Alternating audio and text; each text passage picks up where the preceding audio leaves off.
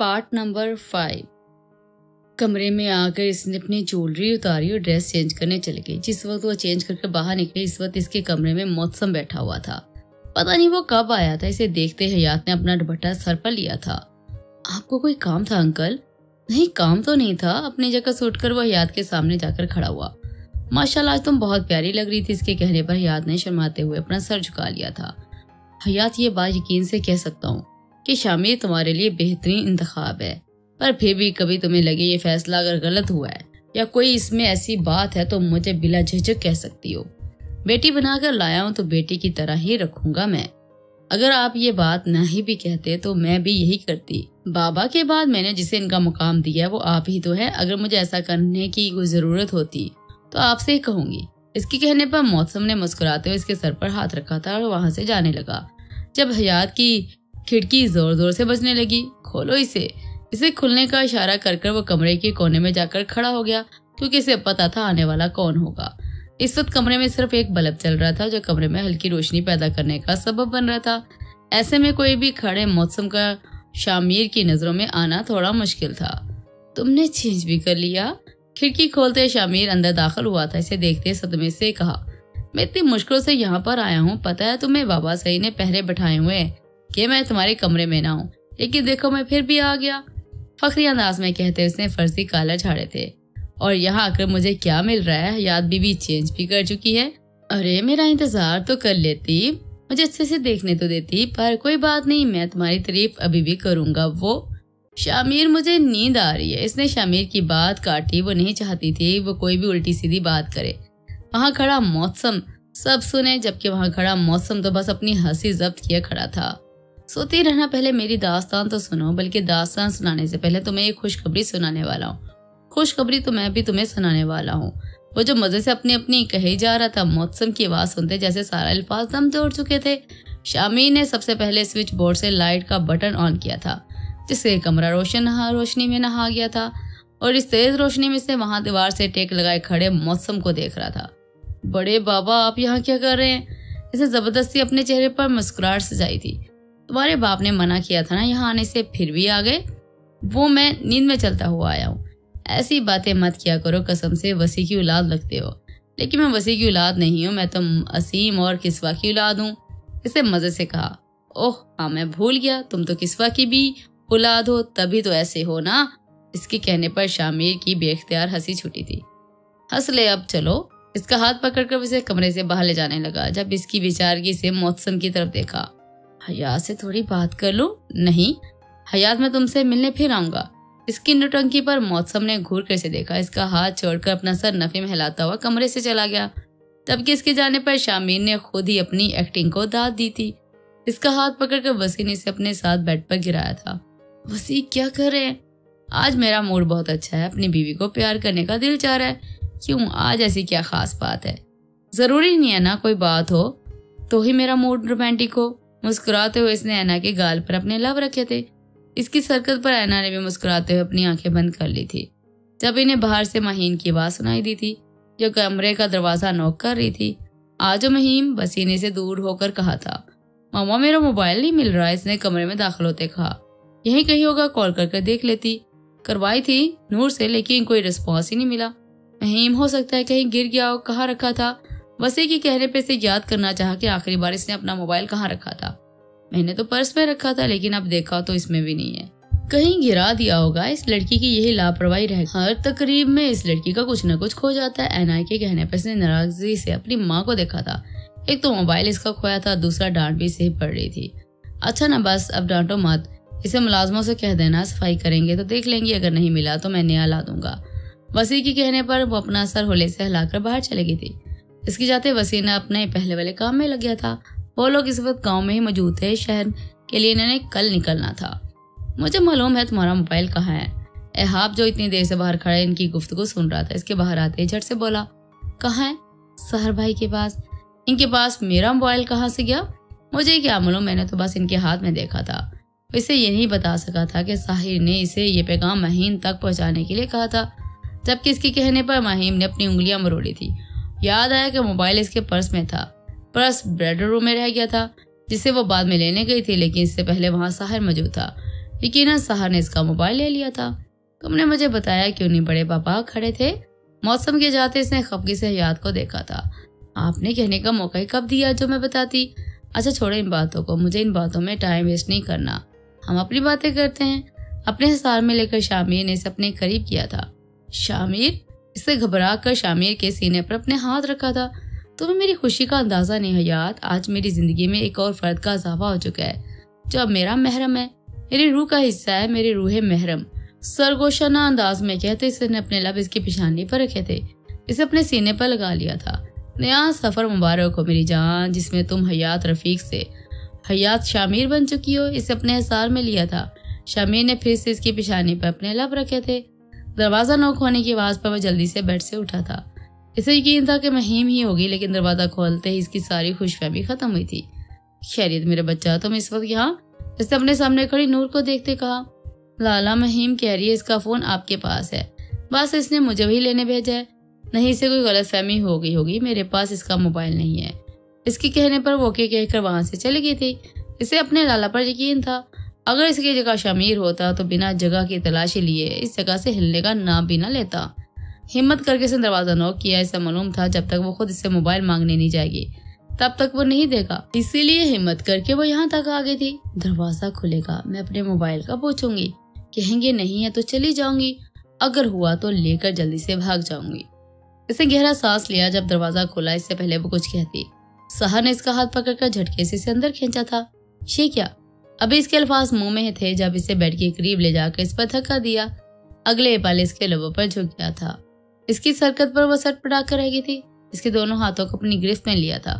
वो कतरा कतरा इसकी सांसों को खुद में उतार रहा था। छोड़े मुझे। लबों को आज़ादी मिलते ही इसने फिर से फूली सांसों समेत कहा था, मैंने थोड़ी कहा है, मेरे कमरे में आओ। मेरा फ़ोन आपके पास है, मुझे वापस करें और छोड़े मुझे। तुम्हें क्या लगता है, अब जब कि तुम खुद मेरे कमरे में आई हो तो इतनी साली से तुम्हें छोड़ दूँगा? सुबह से पहले तुम्हें जहाँ से जाने नहीं दूँगा।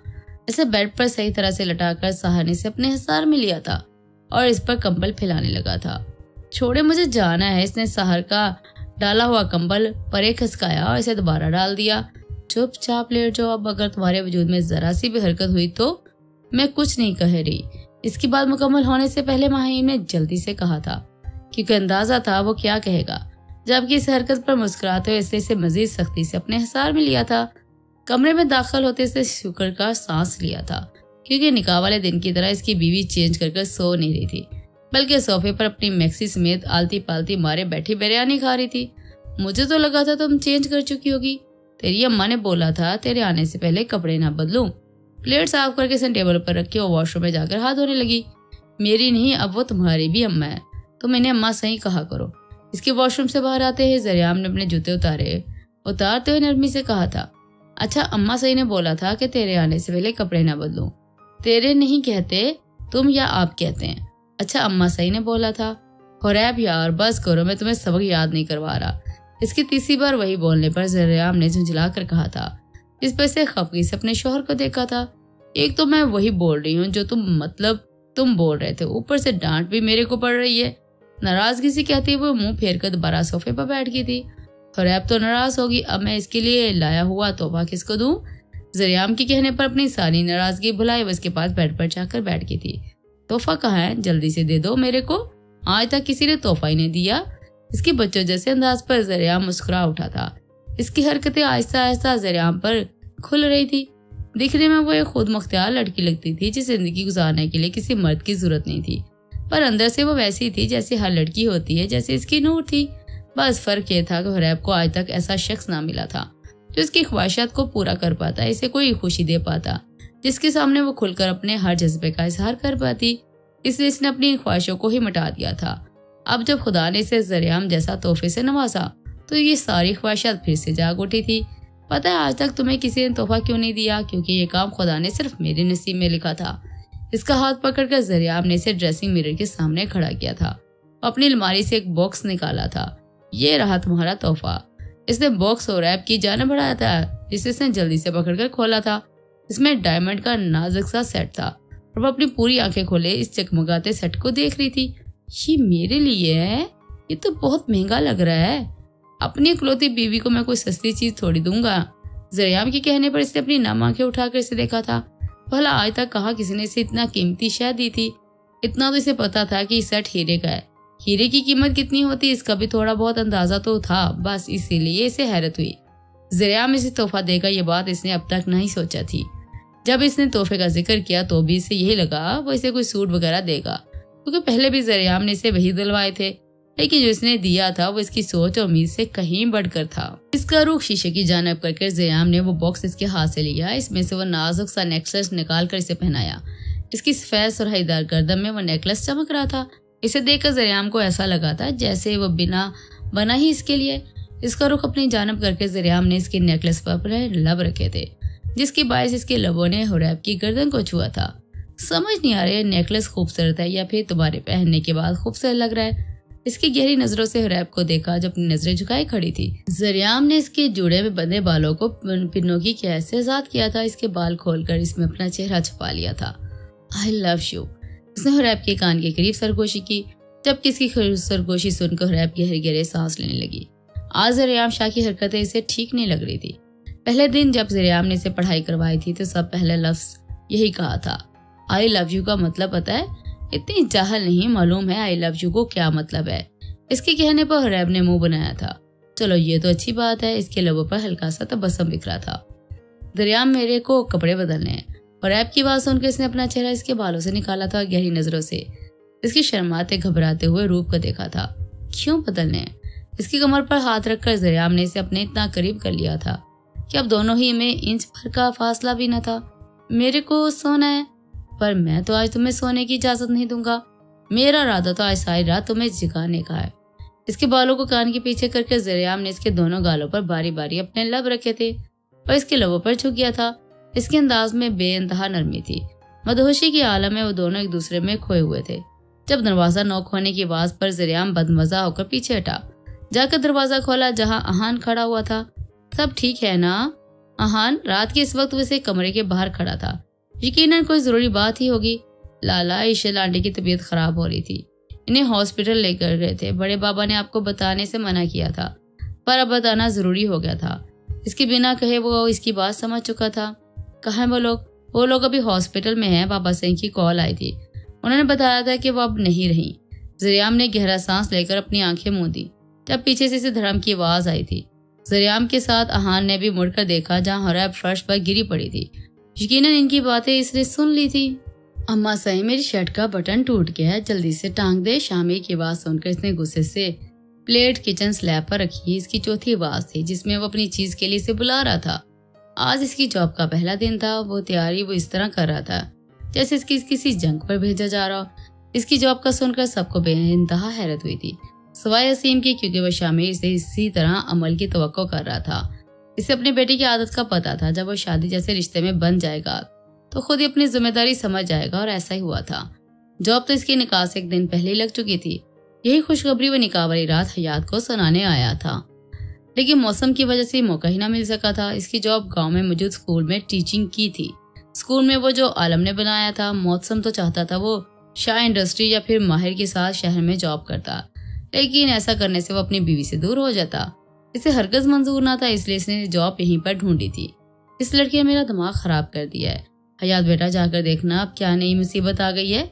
इसे नाश्ते में हेल्प करते हयात से कहा था, जबकि इसकी बात सुनकर हयात ने चौंक कर से देखा था, मैं जाऊँ?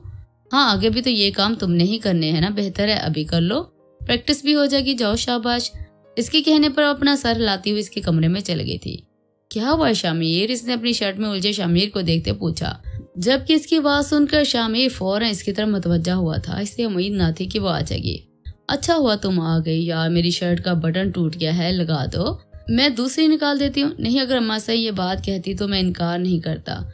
पर तुम यही बटन लगाओगी, अब जल्दी से लगा दो, मुझे देर हो रही है। इसकी जीबोगरी बात सुनकर याद कमरे से बाहर आ गई। दो से तीन मिनट में इसकी वापसी हुई, इसके हाथ में सुई और धागा था। बटन दिखाइए। इसके कहने पर शामिर ने बटन इसकी हथेली पर रखा था। जिसके बाद सुई में धागा डालकर इसकी शर्ट का बटन लगाने लगी। जब अपनी कमर पर इसने शामिर की उंगलियों का लम्स महसूस हुआ, तब इसकी समझ में आया कि अम्मा सही के कहने पर वो नई शर्ट पहन लेता, लेकिन इसके कहने पर नहीं पहनता, ताकि बटन लगवाने के बहाने अपनी हरकतें दिखा सके। इसकी घबराहट को इग्नोर किए वो इसके चेहरे और गर्दन पर जा बजा अपना लम्ब छोड़ रहा था, जिससे वो घबरा रही थी और उंगलियाँ कप कपा रही थी। आह, सीने में सुई चुपते इसकी हल्की सी चीख निकली थी। जिस पर याद ने परेशानी से से देखा था। क्या हो गया? चुप गई। उल्टी सीधी हरकतें करेंगे तो यही होगा ना? अब सीधे खड़े रहें। इसे डांट कर वो फिर से अपना काम की तरफ़ मतवजा हुई थी। काम खत्म होते वहाँ से जाने लगी जब शामी ने इसकी कलाई पकड़ के इसे अपनी जानब खींचा था किधर? पहला दिन है, जॉब का। मुँह तो मीठा करवा दो। अच्छा तो मैं किचन से चीनी लेकर आती हूँ। चीनी की ज़रूरत नहीं है, मेरे पास पहले से एक अच्छी सी स्वीट डिश है। मुस्कुराते इसने अपना फोकस शियात के लबों की तरफ़ किया था।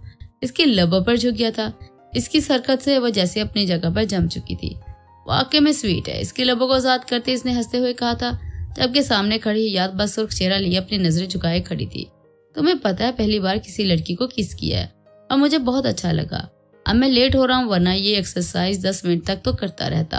अब चलते हैं। यहाँ खड़ा रहा तो ऐसे लेट होता रहूँगा। ऊपर से तुमने मुझे पहले इतना लेट करवा दिया है। इसके कहने पर याद इसे घूर भी ना सकी। वो इसे लेट करवा रही थी। या फिर वो खुद ही अपनी उल्टी सीधी हरकतें दिखाकर टाइम वेस्ट कर रहा था। एक तकिए पर सर रखे दूसरे तकिए को सीने से लगाए वो इस वक्त गहरी सोच में मुबतला थी। ईशल के इंतकाल को एक हफ़्ता गुजर चुका था, सबकी रूटीन पहले जैसी हो चुकी थी। लेकिन वो थी कि किसी भी तरह से अपने गम से बाहर नहीं निकल पा रही थी। दरवाजे पर दस्तक हुई, जिसे सुनकर वो सीधी होकर लेटी। चेहरे पर हाथ फेर कर आँसू साफ़ करने लगी। आ जाओ। इसने आने वाले चेहरे को देखा तो वो मौसम था। मामू, आ जाओ। इसे देखते ही वो फीका सा मुस्कुराई थी। कैसी हो तुम? बिल्कुल ठीक। अपने कमरे से बाहर क्यों नहीं निकलती? वो बेड पर इसके करीब जाकर बैठ गया था। दिल नहीं चाहता। इसने नज़रें झुकाकर कहा, काश सारे काम ही हमारे दिल के चाहने से होते। और मैं जानता हूँ तुम्हारा गम बहुत बड़ा है। मैं खुद भी इस गम से गुजर चुका हूँ, इसलिए तुम्हारी कैफियत समझ सकता हूँ। तो मैं भी समझाना चाहता हूँ कि जाने वाले चले जाते हैं। लेकिन इनके गम में हम एक ही जगह रुक नहीं जाते, ज़िंदगी तो गुजारनी पड़ती है। मैं कोशिश कर रही हूँ। इसने भीगी बास के साथ कहा था। करनी भी चाहिए तुम्हें मालूम है, तुम्हारी माँ कितनी खुश थी तुम्हें देकर। इसने कहा था कि इसे तुम्हारी तरफ़ से जो फ़िक्र थी वो दूर हो चुकी है। वो सुकून में थी। अब भी है, लेकिन ये तुम्हारे आँसू इसे बेसकून कर देते हैं। क्या तुम अपनी माँ को बेसकूनी की वजह बनना चाहती हो? मौसम के कहने पर इसने जल्दी से अपना सर नफी में लाया था। तो फिर खुश रहो, जिसे देखकर वो भी सुकून में रहे। अपना जहन बटाओ जरियाम के साथ बाहर चली जाया करो। मुझे कहीं नहीं जाना। और आप अपने इर्द गिर्द देखो कितने लोग हैं जो तुमसे प्यार करते हैं, तुम्हारे लिए परेशान है। अपना न सही तो इनका ख्याल करो। तुम करोगी ना मेरा बच्चा? इसका गाल थपथपा कर मौसम ने इसकी पेशानी पर अपने लब रखे थे। वहाँ से चला गया था। इसके जाने के बाद वो फिर से पुराने मनाजर में खो गई थी। तुमने मुझे बताया क्यों नहीं? मौसम के वो तुम्हारे पास है। मौसम ने नज़र उठाकर बैद की तरफ़ देखा जब अपना सर झुकाए बैठा था। ईशा ने मना किया था। इसे लगता था इसकी बेटी को तुमसे कोई खतरा होगा।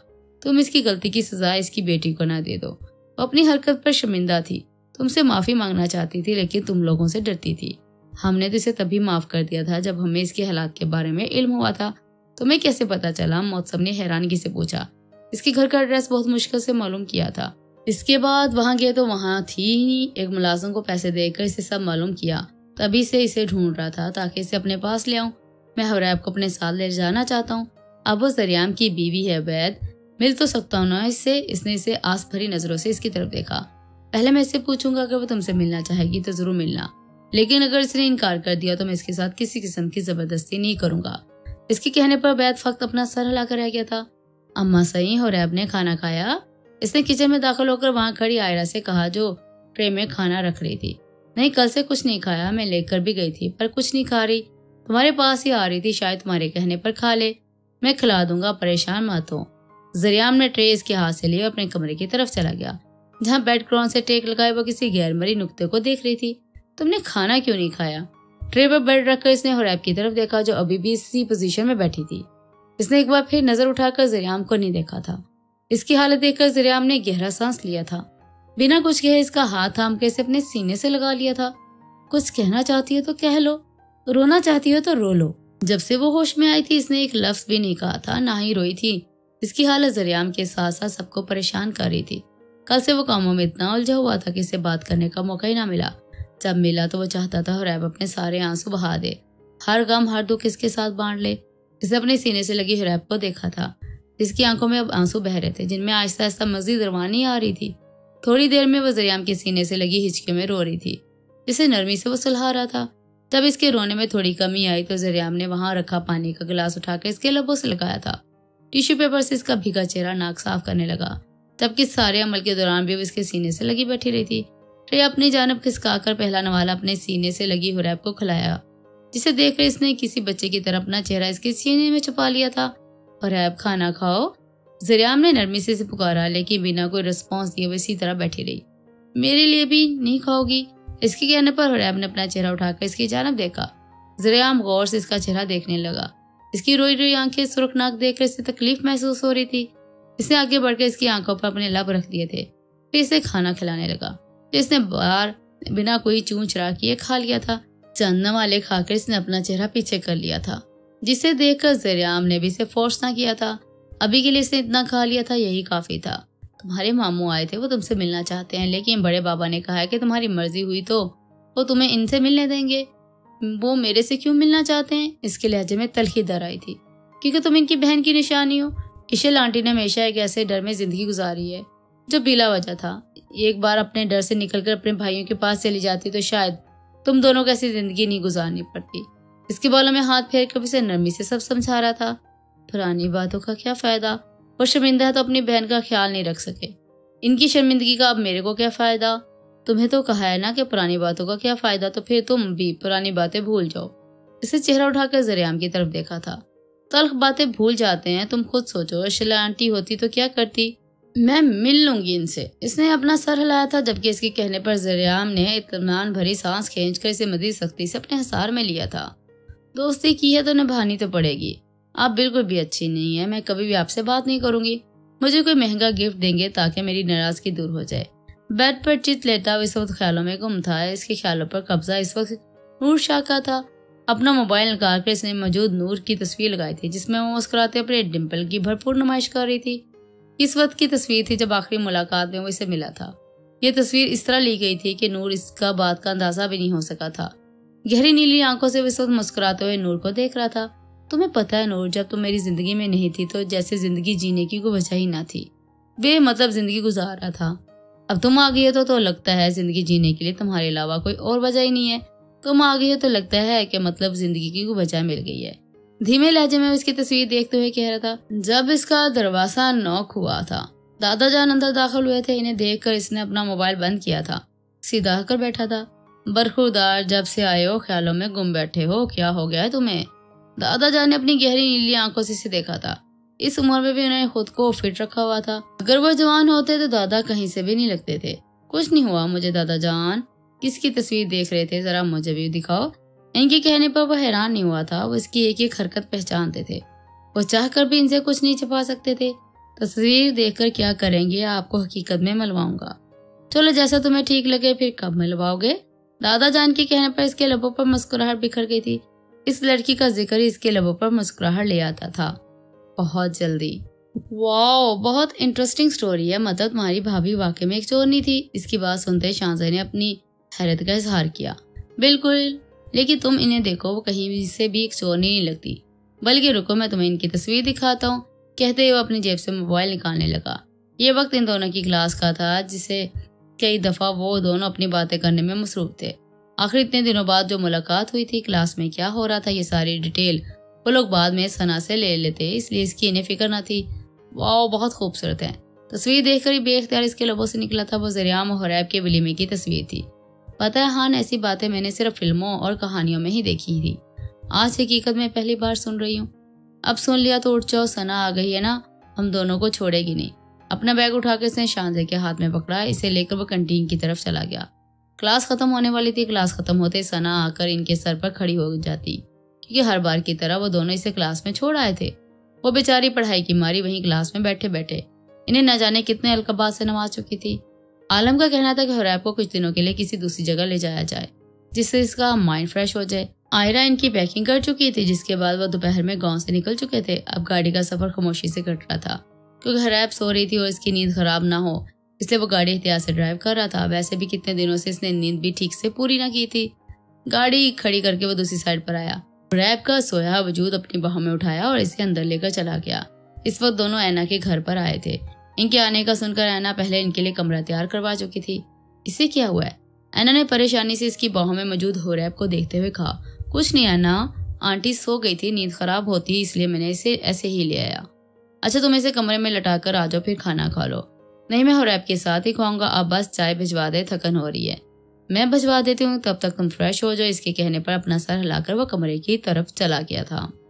नींद से जागते इसने अपने आप को अनजान जगह पर पाया था। नज़रें दौड़ाकर इसने इधर उधर देखा था। बेड पर दूसरी तरफ़ नूर बैठी हुई थी। बात, हाथ में मोबाइल थामे वो कानों में हैंड फ्री लगाए। आँखें मसल कर वो उठकर बैठी थी। इसे उठता देख नूर भी इसकी तरफ़ मतवजा हुई थी। उठकी आप खाना लाओ। नूर के कहने पर इसने अपना सर नफी में हिलाया था। तो मतलब तुम यहाँ क्या कर रही हो? लाला ने यहाँ बैठाया था। उन्होंने कहा था कि आपको अकेला ना छोड़ो। वो खुद कहा है? वो काम से बाहर गए हुए हैं। आपको पता है, वो आज आपको डिनर पर ले जाने वाले हैं।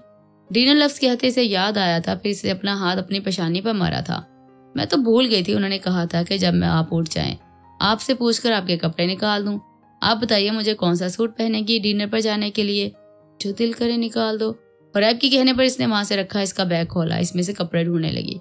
अभी तक इन कपड़े इसकी तरह इसी के बैग में पड़े थे, क्योंकि जरियाम का इरादा यहाँ रहने के बजाय मौसम वाले घर में रहना था ताकि अपनी बीवी के साथ वो अकेले में कुछ वक्त गुजार ले।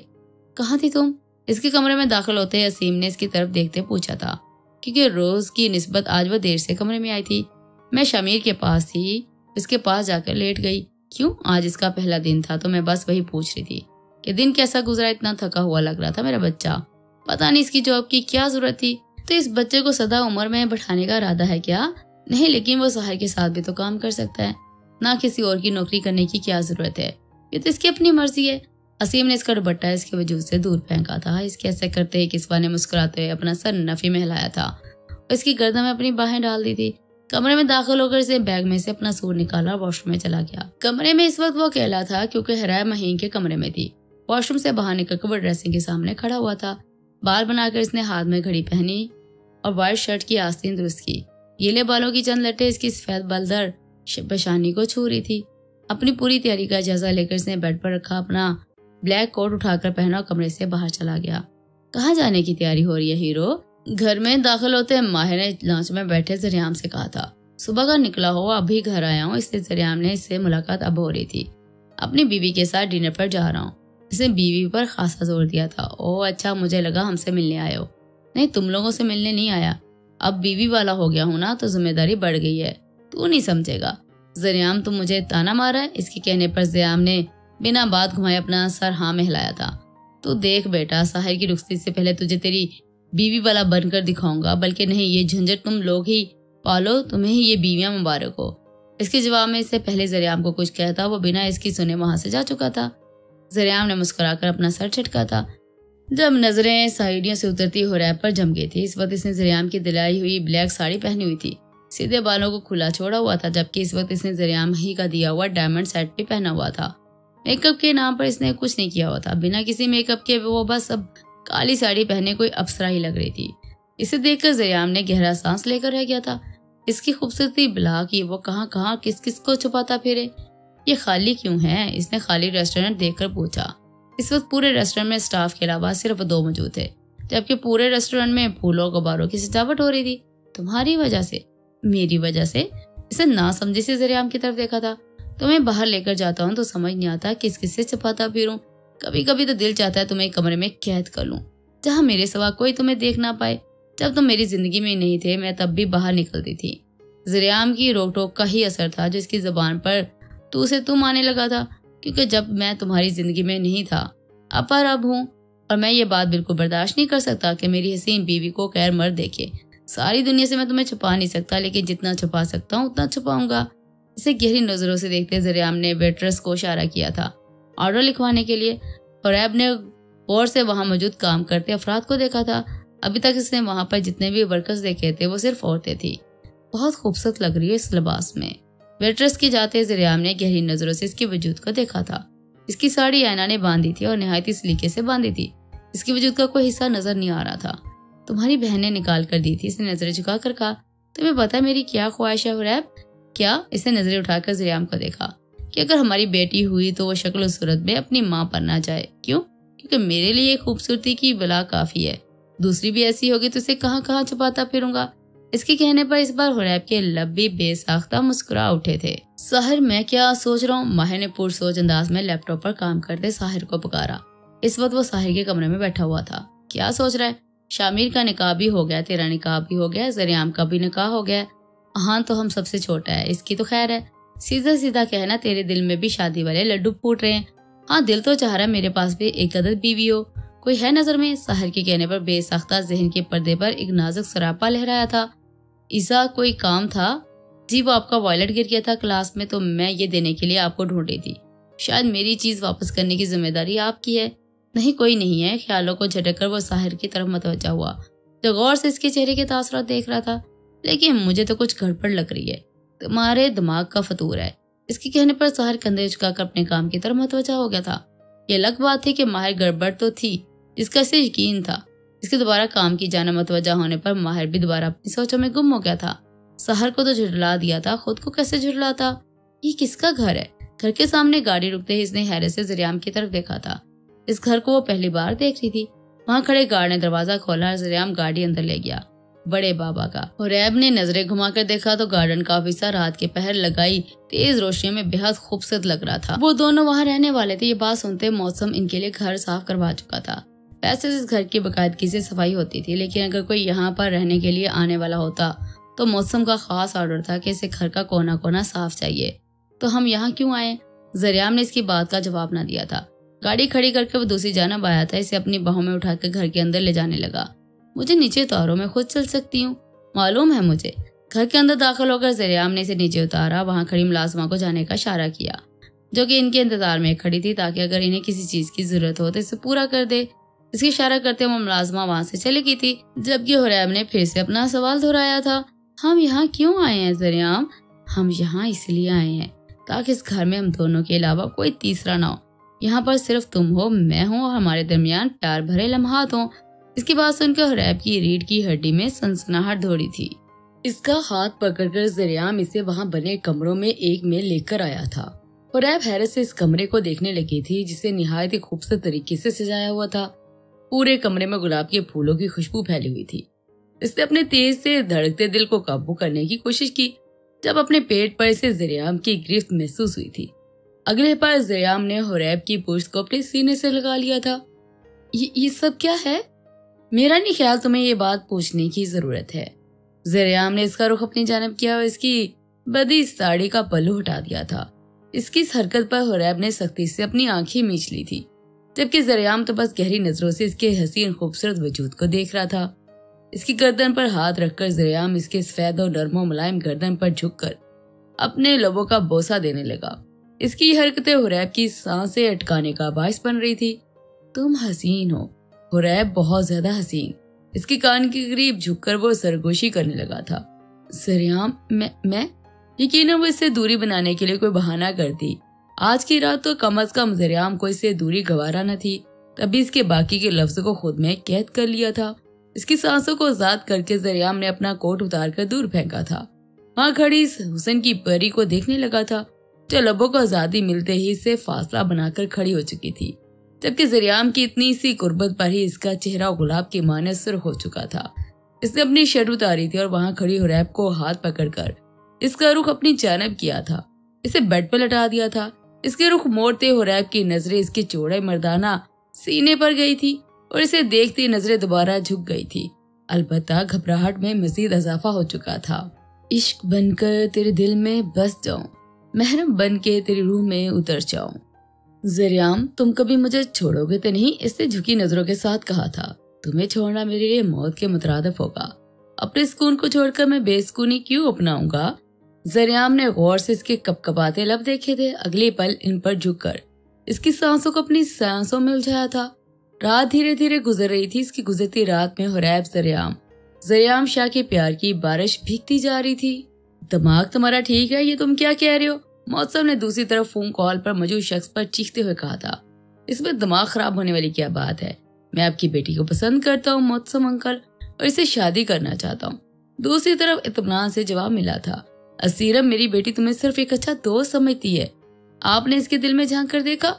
नहीं देखा और ना ही मुझे देखना है। चाहे नूर की इसमें मर्ज़ी शामिल हो या नहीं, लेकिन मैं इसकी शादी तुमसे हरगिज नहीं करूँगा। इसके कहने पर सीरम के लबों पर तंजिया मुस्कुराहट बिखरी थी। क्यों? शायद इसीलिए कि मेरी ज़िंदगी मौत का भरोसा नहीं है। हाँ इसीलिए। दो दिन पहले तुम पर हमला हुआ था।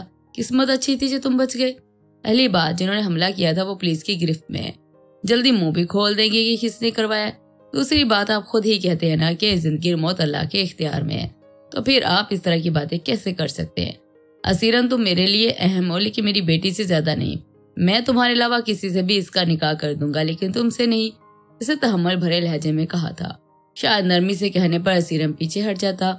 इसकी ज़िंदगी में मेरे अलावा कोई और नहीं आएगा। अगर आपने ऐसा करने की कोशिश भी की तो मैं नूर को उठाने में भी देर नहीं करूँगा। बेहतर है कि राज़ी हो जाए। दादा जान को आपके पास भेजूँगा, आपका जवाब हाँ में होना चाहिए। अगर आपको ये लगता है कि मैं वहाँ नहीं हूँ तो मुझे किसी बात का इल्म नहीं होगा। ये सिर्फ़ आपकी गलत फहमी है। बेहतर है मेरी बात मान ले, वरना असीरम अली खान कैसा है आप बेहतर जानते हैं। वो कॉल कट कर चुका था। वो कॉल काट चुका था, लेकिन मौसम का दिमाग बस इसकी कही बातें सोच रहा था। मैं तुमसे निकाह नहीं करूँगी। सोच लो, पहले तुम्हारी गलती की सजा ये भुगत रही है। मैं इसे आगे भी बढ़ सकता हूँ। जिसका मुझे कोई अफसोस ना होगा। तो बेहतर है कि मेरी बात मान लो। इजाज़त मांगूँगा इन सबसे। अगर मिल गई तो ठीक है, नहीं तो तुम्हें घर से उठाने में भी देर नहीं करूँगा। क्योंकि अब तुम सिर्फ़ मेरी हो। इसे माजी की यादों को जहन से झटका था। नहीं नहीं, मैं नूर की शादी उस सीरम से नहीं कर सकता, कभी भी नहीं। इसने गहरा सांस लेकर खुद को रिलैक्स किया था। क्या बात है, मेरी बीवी को आखिर मेरा ख्याल आ ही गया। इसके कमरे में दाखिल होते शामी इन्हें से देखते हुए कहा था इस वक्त वो कमरे में मौजूद स्टडी टेबल पर बैठा अपना काम कर रहा था। जी किसवा आंटी बता रही थी कि आप थके हुए हैं। मैंने आपके कमरे की लाइट ऑन देखी तो आपके लिए कॉफ़ी ले आई। हाँ ज़रूरत तो मुझे वाकई में थी। इसके हाथ से कॉफ़ी लेकर शामी ने इसे अपनी गोद में बैठाया था। लेकिन कॉफ़ी नहीं, अपनी बीवी की। शामिर जी की हरकत है। हयात ने इसकी गोद से उठना चाहा, जिसे नाकाम बनाते हुए इसे अपनी गिरफ्त सख्त कर दी थी। गहरी नज़रों से उसका घबराया हुआ रूप देख रहा था। ये प्यार है मेरी जान। शामिर ने प्यार से इसकी ढोडी को छूते हुए कहा था। बारी बारी इसके दोनों गालों पर अपने लब रख दिए थे। छोड़िए, मुझे मैं सिर्फ़ आपको कॉफ़ी देने आई थी। नहीं छोड़ रहा मुझे बहुत थकन हो रही है और इस वक्त मैं सिर्फ़ सोना चाहता हूँ। तो अब सो जाए। हयात ने इसकी पूरी बात सुने बिना जल्दी से कह दिया था। और मुझे अपनी बीवी के साथ सोना है। नहीं, मुझे अपने कमरे में जाना है। छोड़िए, मुझे इसका हाथ पकड़कर शामी ने ज़बरदस्ती से अपने साथ बेड पर लटाया था। शामीर छोड़िए, मुझे कोई देख लेगा तो क्या सोचेगा? क्या सोचेगा? कुछ भी नहीं सोचेगा। शामीर प्लीज़ हयात, अब तुम्हारी एक भी आवाज़ आई ना तो मैं तुम्हारी बोलती अपने तरीके से बंद करूँगा। फिर मुझसे कोई शिकायत मत करना। इसकी बात का मतलब समझते हयात ने खामोशी इख्तियार की थी। लेकिन ये नसीहत इसे मिल गई थी कि आंदा शामिर के कमरे में वो नहीं आएगी। खास तौर पर रात के वक्त तो बिल्कुल भी नहीं। Good girl. इसकी खामोशी देखकर शामिर ने मुस्कुराते हुए इसके माथे पर अपने लब रखे थे। इसे अपने हिसार में लेकर आँखें बंद कर ली थी। इसके बाद हयात बस इसके सोने का इंतज़ार करने लगी, ताकि इसके सोते ही वहाँ से चली जाए। एक और बात, मैं सो भी जाऊँ तो भी यहाँ से कहीं मत जाना। सुबह उठते मुझे सबसे पहले तुम्हारा चेहरा देखना है। अगर तुम यहाँ से चलेगी ना, याद तो अच्छा नहीं होगा। इसकी नींद में जाने से पहले याद ने इसकी आखिरी बात सुनी थी। इसे यही लगा था, इस वक्त वो नींद में ये बात कह रहा है। इसके सोते याद नरमी से इसके हिसार से निकली। आहिस्ता आहिस्ता कदम उठाते कमरे से चली गई थी। आँख खुलते ही इसने नींद से भरी आँखें लिए इर्द गिर्द देखा, नज़र अपने वजूद पर गई। इस वक्त इसने सिर्फ़ जरियाम की व्हाइट शर्ट पहनी हुई थी। इसे देखते रात का हर मंजर किसी फ़िल्म की तरह इसके जहन पे के पर्दे पर चलने लगा था। शर्माते हुए इसने बेड की दूसरी जानब देखा जो खाली था। जरियाम वहाँ नहीं था। ये सो जाते हुए जल्दी से उठी थी लेकिन फिर सुकून का सांस लिया। डार्क ब्लू कलर की कमीज शलवार पहने इस वक्त जाए नमाज़ पर बैठा।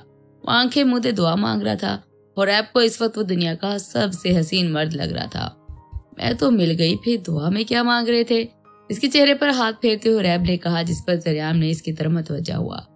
ज़िंदगी भर तुम्हारे साथ की दुआ मांग रहा था। जाए नमाज़ तय करके इसने साइड पर रखी थी। उठ गई हो तो फिर नमाज़ ही पढ़ लो। मैं नमाज़ नहीं पढ़ती, क्यों नहीं पढ़ती? मैं पहले बहुत नमाजें पढ़ती थी, फिर दुआएँ भी करती थी, लेकिन मेरे हालात बदल जाए। हम इस गंदी जगह से निकल जाए। मेरी माँ को इसकी भाई माफ़ कर दें। हर कोई मुझे गंदी नज़र से देखता था। मैं चाहती थी जो लोग मुझ पर गंदी नज़र रखते हैं, वो ऐसा ना करे। मुझे चोरी नहीं पसंद थी। मैं चाहती थी ज़िंदगी में कोई ऐसा मुआवजा हो जाए, जिससे मैं ये गलत काम छोड़ दूँ, पर मेरी कोई दुआ कबूल ना होती थी। इसलिए मैंने सब करना छोड़ दिया। इसे खुद भी पता न चला कब आँसू इसकी आँख से निकलकर गाल पर बह गए। हुरैब हमारी दुआ कभी भी रद्द नहीं होती। इसकी गाल पर बिखरे आँसू साफ़ करके जरियाम ने नरम लहजे में कहा था, हर चीज़ का एक वक्त मुकर होता है। हमारी दुआओं को भी सही वक्त आने पर कबूल हो जाती हैं। क्या तुमने गौर किया तुम्हारी सारी दुआएँ कबूल हो चुकी हैं? क्योंकि इनकी कबूलियत का वक्त अब मुकर था। जब तुम्हारी दुआएँ कबूल नहीं हुई तो तुमने दुआ मांगना छोड़ दी, नमाज़ पढ़ना छोड़ दिया। लेकिन अब जब कबूल हो चुकी हैं तो क्या तुमने खुदा का शुक्र अदा किया? इसके कहने पर हरैब ने शर्मिंदगी से अपना सर झुका लिया था। इस तरफ़ इसका ध्यान कभी गया ही नहीं था। शर्मिंदा होने की ज़रूरत नहीं है, मेरी जान, जल्दी से उठो, जाकर नमाज़ पढ़ो। इससे पहले कि फजर का वक्त निकल जाए, नमाज़ पढ़ो ताकि तुम्हें जन्नत मिले। इसके कहने पर हरैब ने मुस्कुराते इसकी गर्दन में अपनी बाहें डाली थी। मुझे मेरी जन्नत दुनिया में मिल चुकी है। मुझे भी मेरा सुकून दुनिया में मिल चुका है और मैं चाहता हूँ ये सुकून जन्नत में भी मेरे साथ हो। जरियाम ने इसकी ठोडी को छुआ और उसके उठने का इशारा किया। अपना सर हिलाकर रैब ने खुद पर से कंबल हटाया। इसके ऐसा करते जरियाम की नज़रें बेसाख्ता इसके सफ़ेद पाओ की तरफ़ उठी थी। इसने इस वक्त जरियाम की शर्ट पहनी हुई थी। जो इसके घुटनों तक आ रही थी, जबकि नीचे का बाकी हिस्सा कुछ ना पहनने के बाद साफ़ दिख रहा था। इसे देखकर जयाम ने अपनी आँखें बंद कर ली थी। इसे देखकर जरियाम ने अपनी आँखें बंद कर ली थी। अगर वो इस वक्त नमाज़ के लिए नहीं जा रही होती तो इतना जब्त कर कर वो कभी ना बैठता। इसके जाते जरियाम ने अपनी आँखें खोली, जब चंद सेकंड बाद वो फिर से इसके सामने सहूलिया में आकर खड़ी हो गई। इस बार जैसे जरियाम के सबर का पैमाना लबरेज हो चुका था, इसका हाथ पकड़कर जरियाम ने झटके से अपनी गोद में बैठाया था। जहाँ तक इन कपड़ों में तुम इंग्लिश मूवी की हीरोइन लग रही हो। लेकिन मेरे सामने आकर क्यों मेरे जज्बात जगा रही हो? वो मेरे पास पहनने के लिए कुछ नहीं है। इसके कहने पर जरियाम ने इसे अपनी गोद में उठाया, बिना इसकी तरफ़ देखे। वार्डरोब में से एक सूट निकाल कर इसकी तरफ़ बढ़ाया। अब जब तक वो कपड़े नहीं बदल लेती, तब तक जरियाम शाह ने इसकी तरफ़ ना देखना था। ये तो तय था, लेकिन ये मेरा तो नहीं है। जरियाम ने अपनी जरियाम ने अपना बैग गाड़ी में रखवा लिया था, इसलिए सामान इस वक्त इसके पास मौजूद था, लेकिन हुरैब का बैग अभी तक ऐना के घर पर था। इससे जरियाम ने इसे अपना सूर निकाल कर दिया था। अपना तय किया हुआ इरादा तोड़कर वो इसकी तरफ़ मुड़ा और इसका हाथ खींच के इसे अपने करीब किया। एक मिनट। हुरैब, एक मिनट से पहले ये सूट बदल कर आओ, वरना जो सूट दे रहा हो ना, ये भी नहीं दूँगा। और जो मेरी शर्ट तुमने पहनी हुई ना, ये भी ले लूँगा। जरियाम के छोड़ते ही वो बिना कुछ कहे वॉशरूम की तरफ़ आ गई थी, क्योंकि इसने बात ही ऐसी की थी। यहाँ खड़े होकर वह टाइम जाया नहीं करना चाहती थी, जबकि इसके भागने की स्पीड देखकर कमरे में जरियाम का कहका गूंजा था। मौसम, तुम्हारे इनकार की वजह क्या है? जितना मैं इसे जानता हूँ, इससे वो मुझे अच्छा ही लगा है। तुम तो इसे मुझसे भी ज़्यादा बेहतर जानते हो। इसकी पूरी बात सुनते ही आलम ने अपनी राय दी थी जिससे असीम ने भी इतफाक किया था। आलम, मैं सीरम और नूर की शादी कभी नहीं करूँगा, बल्कि सीरम के आने से पहले नूर का निकाह ही कर दूँगा।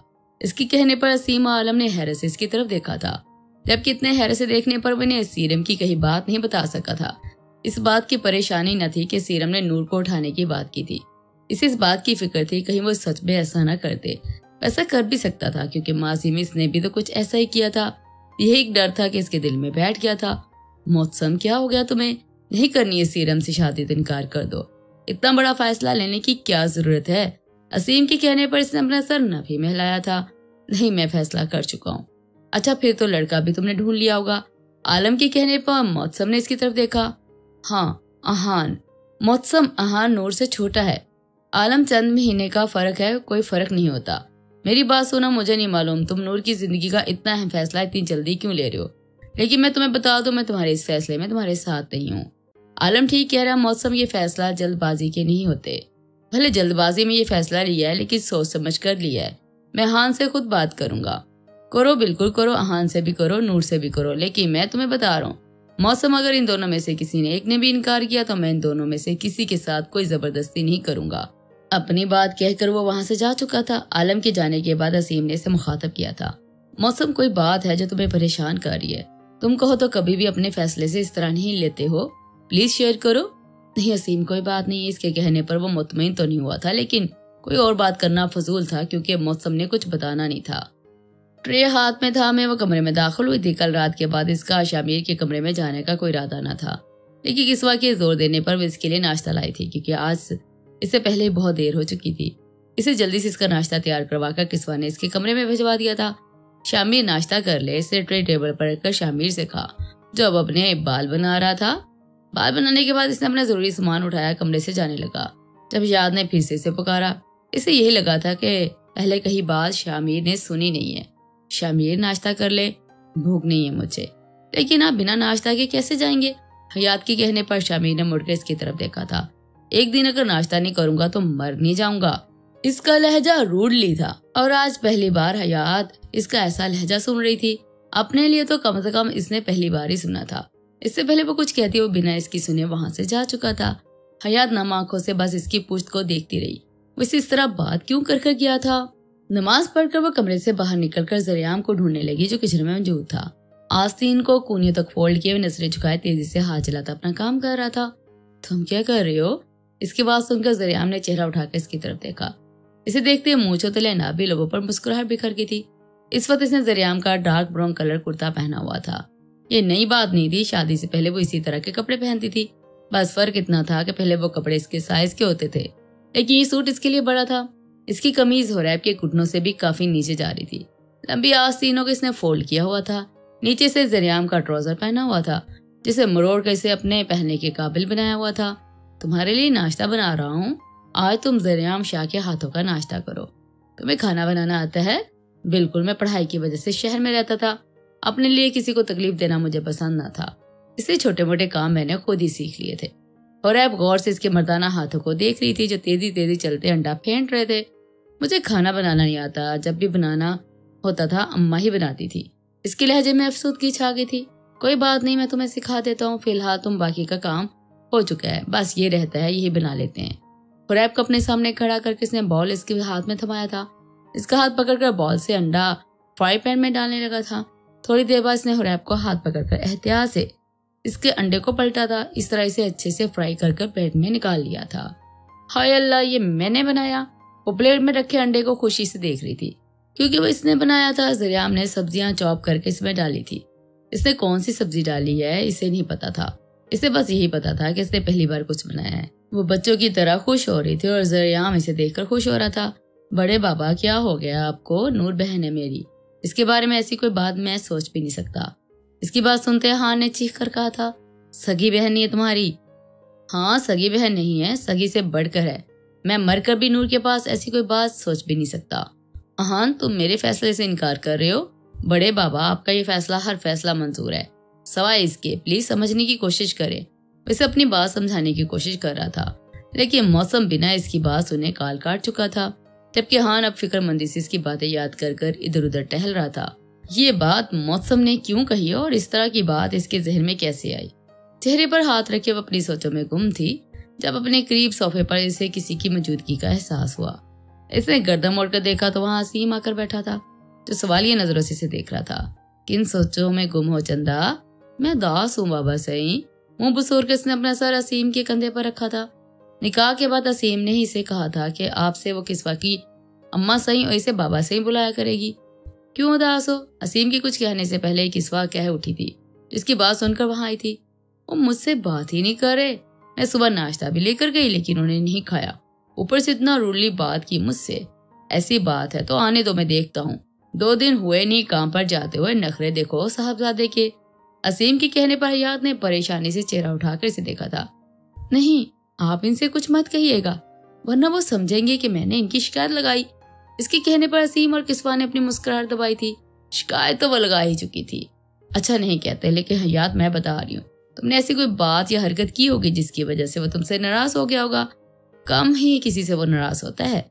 किसवा की कहने पर इसे रात वाली बात याद आई थी। एक और बात, मैं सो भी जाऊँ तो यहाँ से कहीं मत जाना। सुबह उठते मुझे सबसे पहले तुम्हारा चेहरा देखना है। अगर तुम यहाँ से चलेगी ना, या तो अच्छा नहीं होगा।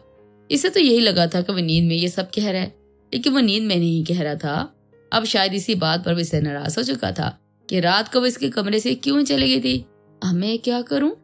इसे परेशानी से इन दोनों को देखा, शामिर इसे नाराज़ हो चुका था। अब इसे मनाती कैसे? इसे मनाओ, वो ज़्यादा देर तक किसी से नाराज़ नहीं रह सकता। क्या किया तुमने? अपना फैला सामान एक तरफ़ रखकर वो महीन की तरफ़ मतवजा हुआ था। महीन अपने दोस्तों से कह दिया कि मेरा निकाह आपसे हुआ है। निकाह पर मैंने किसी को इन्वाइट नहीं किया था तो सबको लगा मैं सच कह रही हूँ। इसने अपनी उंगलियाँ मरोड़ते कहा, जबकि इसकी बात सुनकर माहिर तो जैसे सदमे में जा चुका था। क्या मेरा नाम क्यों लिया? वो मुझे शहर मतलब शहर के नाम से चिड़ थी ना, जब मैं इन्हें ये बताती थी कि वो कैसे डांटते हैं, मुझ पर गुस्सा करते हैं। इसलिए गुस्से में एक बार मैंने कह दिया कि मर जाऊँगी, लेकिन शहर से निकाह नहीं करूँगी।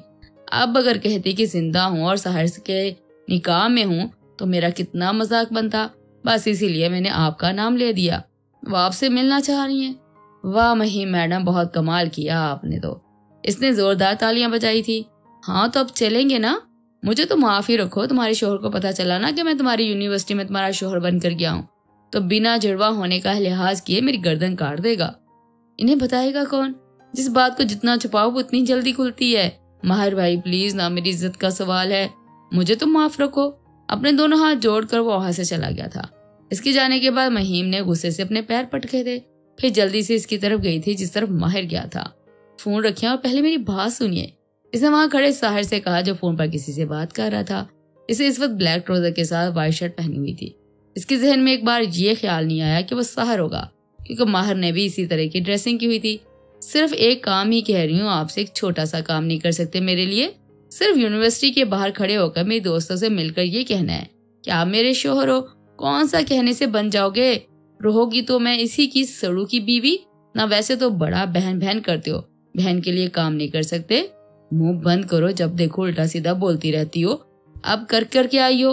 वो जो मुसलसल नॉन स्टॉप बोले जा रही थी सहर की आवाज़ सुनकर एकदम चुप हुई थी। इसकी ईद की जैसे खतरे की घंटियाँ बज रही थी। कमरे में दाखिल होते इसकी पहली नज़र बेड पर बैठी हयात पर पड़ी थी। अपने दोनों हाथ अपने चेहरे पर रखे इसकी तरफ़ ही देख रही थी। यहाँ क्या कर रही हो तुम? क्यों मैं यहाँ नहीं आ सकती? हयात कमरे से निकलो। मैं कहीं नहीं जा रही है मेरा कमरा है। ढीठ बनी वो वहीं बैठी रही थी। बैठो यहीं, मैं जा रहा हूँ। मोबाइल और वायलट ड्रेसिंग टेबल पर रखकर वो कमरे से जाने लगा।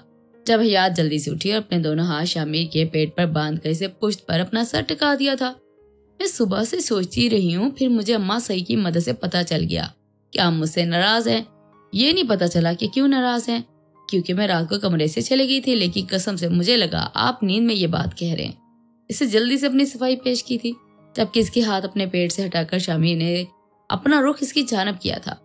हयात मैं चाहे कोई भी बात जागते भी कहूँ या सोते, तुम्हें मेरी बात सुननी चाहिए। सब मेरे साथ मज़ाक करते हैं, मेरा मज़ाक उड़ाते हैं। मैं कुछ नहीं कहता, ना ही मुझे बुरा लगता है, पर मैं चाहता हूँ मेरी बीवी मेरी हर बात को अहमियत दे। मैं आइंदा ख्याल रखूँगी, आप बस नाराज़ मत होना। इसके कहने पर शामी ने मुस्कुराते इसे देखा और इसके लबों पर झुक गया था। सुबह से इसी चीज़ ही को तो वो इतना मिस कर रहा था। नहीं होगा मैं नाराज़, लेकिन आज की पूरी रात तुम्हें मेरी बाहों में सोना पड़ेगा। और तुम इनकार नहीं करोगी। सिर्फ़ एक रात शामिर हयात ने एक उंगली उठाई जिस पर शामिर ने अपने लब रख दिए थे। रुखसी से पहले पूरी कोशिश होगी, बस एक रात। इससे ज़्यादा भी हो गई तो क्या हो गया? सलाही तो रहा हूँ, कौन सा मेरे साथ? शामिर इसके जुमला मुकम्मल करने से पहले हयात ने अपना हाथ इसके लबों पर रखा था, जिस पर शामिर ने इसका हाथ अपने लबों से उठाया था और इसके हाथ की पुष्ट पर अपने लब रखकर इसे अपने सीने से लगा लिया था। क्या करके आई तुम साहर ने मशकूक निगाहों से इसे देखा, जब इसकी बात का बिना कोई जवाब दिया, वो मुड़कर भागने लगी। जब बेदहानी में सर वहाँ लगे, पिल्लर से टकरा गया। सर एकदम से जैसे घूम गया था, इससे पहले वो चकराते सर के साथ ज़मीन पर गिरती, साहर इसे पकड़ चुका था। बेवकूफ़ लड़की, ध्यान कहाँ रहता है तुम्हारा? इसे गुस्से से घूरते हुए इसका माथा सुलहाने लगा था। जो लाल हो रहा था, जबकि महीन बात वहीं रोए जा रही थी। किस किस चीज़ के लिए पता नहीं, माहिर को राज़ी नहीं कर सकी। साहिर के सामने उल्टा सीधा बोल दिया। अब इसके सामने सर पिल्लर में ठोक दिया। ज़्यादा ज़ोर से लगी, महीन को रोता देख इसने नरम लहजे में पूछा था। लेकिन वो बिना इसकी बात का जवाब दिए वहाँ से भाग गई थी। इस पर साहिर गहरा सांस लेकर रह गया था। इसे पता था महीम सिर्फ़ इसके सवालों से बचने के लिए भागी थी। शायद वो इसे सही बात बताती भी, लेकिन सही बात इसे सिर्फ़ माहिर से ही पता चल सकती थी। मैं जानता हूँ मुझ पर हमला तुम ही ने करवाया था। असीरम ने संजीदगी से दूसरी तरफ़ मौजूद आसफ लगारी से कहा था, जिस पर इसने कहका लगाया था तुम बिना किसी सबूत के मुझ पर इल्ज़ाम लगा रहे हो सीरम खान। मुझे सबूत की ज़रूरत नहीं है, आसफ, मैं जानता हूँ। तुम मुझे मारना चाहते थे बिल्कुल इसी तरह, जिस तरह मेरे माँ बाप को मारा था। तुम्हारे बाप ने मेरी जगह ले ली। मेरे बाप को वही जगह मिली थी जिसके वो लायक था। तुम इसकी जगह लायक नहीं थे। अगर होते तो लोग तुम्हारे साथ देते, ना कि मेरे बाप का। पुरानी बातों का वक्त क्या, छोड़ दिन बातों में रहकर तुम्हें कुछ नहीं मिलेगा। अभी का कहो तुम क्या करोगे, मुझे बिना किसी सबूत के जेल भिजवा कर मैं तुम्हें जेल भिजवा कर क्या करूँगा? थोड़े दिनों में तुम मुझे बाहर फिर नज़र आओगे। मैं तुम्हें सजा दूँगा, खुद अपने हाथों से तुम्हारा कत्ल करूँगा। असीरम के लहजे में इस शख्स के लिए बे इंतहा नफरत थी। इस शख्स ने इसके माँ बाप को इससे छीन लिया था। सिर्फ़ इसी वजह से क्योंकि इसके घटिया कारनामे इसके बाप दुनिया के सामने ले आया था। तुम कल के आए बच्चे हो सीरम मुझसे मुकाबला नहीं कर सकोगे। लाख कोशिशों के तुमने मेरी जगह पर आने की, लेकिन देख लो, इस कल के आए बच्चे ने तुम्हें हरा दिया। इसकी बात सुनकर जैसे दूसरी तरफ़ मौजूद शख्स के जैसे तन बदन में आग लग गई थी। तभी से इसने मजीद कुछ सुनाए बिना जल्दी से कॉल काट दी थी। जरियाम, अब छोड़ो मुझे। अपनी जगह से उठकर वो जाने लगी जब जरियाम ने इसे वापस अपने करीब कर लिया। कहाँ जा रही हो? मुझे भूख लगी है। पर मेरी भूख अभी नहीं मिटी। इसने अपने बेहद करीब करके जरियाम ने बेबाकी से कहा था, प्लीज़ जरियाम, छोड़ो मुझे, मैं थक गई हूँ। दो घंटे में तुम्हारा ये हाल हो गया है। इसके कहने पर रैब के चेहरे की सुर्खी मजीद गहरी हुई थी। बिना मजीद कुछ कहे इसने अपने चेहरे पर कंबल डाल लिया था, क्योंकि जब तक जरियाम की इजाज़त न होनी थी। तब तक वो हराब को वहाँ से उठने नहीं देना था। जरियाम ने इसके चेहरे पर कंबल हटाया, बिना कुछ कहे इसके लबों पर झुक गया था। गुस्से में वो कमरे में टहल रहा था। मौसम की बात है, जब जब याद आ रही थी, तब तब इसे गुस्सा आ रहा था। ऊपर से इस बात की लग परेशानी हो रही थी कि मौसम इससे नाराज़ हो चुका था। लेकिन वो भी क्या करता, वो नूर से शादी कभी ना कर सकता था। आलम को वो बार बार कॉल में आ रहा था, शायद वो इसी से बात के पीछे की वजह बता दे। लेकिन वो था जो इसकी कॉल ही पिक नहीं कर रहा था। ऐसे में जिस बात का गुस्सा इसे सबसे ज़्यादा आ रहा था, वो थी इसके मोबाइल पर बार बार आती कॉल जिसे गुस्से को मजीद बढ़ा रही थी। अहान, मैं तुम्हें कब से कॉल कर रही हूँ? तुम पिक क्यों नहीं कर रहे हो? इसकी कॉल उठाते शानजे ने फ़ौरन कहा था, क्या काम है शानजे तुम पहले मुझे बताओ, तुम मेरी कॉल्स क्यों नहीं पिक कर रहे? पता है मैंने तुम्हें कितनी कॉल्स की हैं, कम अज कम एक मैसेज कर देते। मालूम है मुझे तुमने कितनी कॉल की है, पर फालतू नहीं बैठा रहता। हर वक्त जो, हर बार पहली बेल पर ही तुम्हारी कॉल उठा लूँ, इसका लहजा तलख हुआ था। हाँ तुम ऐसे क्यों बात कर रहे हो? मुझे तो तुम्हें इतनी इम्पोर्टेंट बात बतानी थी। तुम्हारी हर बात ही ज़रूरी होती है शान से कभी मेरी बात भी सुनी तुमने? नहीं, तुम्हारी बात चाहे ज़रूरी या गैर ज़रूरी हो। लेकिन इसका सुनाना तुम अपना फ़र्ज़ समझती हो। तो मत सुनो मेरी बात। मैं तुम्हारे आगे हाथ जोड़ती हूँ कि मेरी बात सुनो आकर। इसने गुस्से से तेज लहजे में कहा और कॉल काट दी। अहान ने पहली बार इससे इस तरह बात की थी। गुस्सा आना को दूर करके इसने एक बार फिर न सोचा कि अहान इससे इस तरह की बात क्यों की थी। इसकी कॉल काटने पर अहान फिर से आलम को कॉल मिलाने लगा। तेज तेज कदम उठाता वो अपनी गाड़ी की तरफ़ जा रहा था। जब जेब में रखा मोबाइल थर थर आने लगा था। इसने अपनी जेब से मोबाइल निकाला था। नंबर देखकर चेहरे पर संजीदगी बढ़ गई थी। इसने अगले हमें कॉल पिक की थी। हेलो? सर मौसम शाह ने कहा है कि आपके आने से पहले अपनी बेटी का निकाह कर देंगे। इसकी बात सुनते ही सीरम की नीली आँखों में गुस्सा उतरा था। किसके साथ? अहान शाह के साथ। इसने कॉल काट दी थी अपने इश्तेदार पर काबू पाने की कोशिश की। लेकिन गुस्सा था जो बढ़ता ही जा रहा था। इसकी नूर किसी और की हो जाती, ये सोच ही से तड़पा रही थी कि ऐसे इस लड़की को किसी और का होने देता, जिसे वो मान चुका था, जिससे मोहब्बत में वो इस हद तक आगे निकल चुका था कि पीछे मुड़ने का अब कोई रास्ता न था। मुश्किलों से जरियाम ने इसकी जान छोड़ी थी और फ्रेश होते ही वो सबसे पहले किचन में आई थी, क्योंकि भूख से इसका बुरा हाल हो रहा था। जरियाम सारे मुलाजमों को यहाँ से भेज चुका था।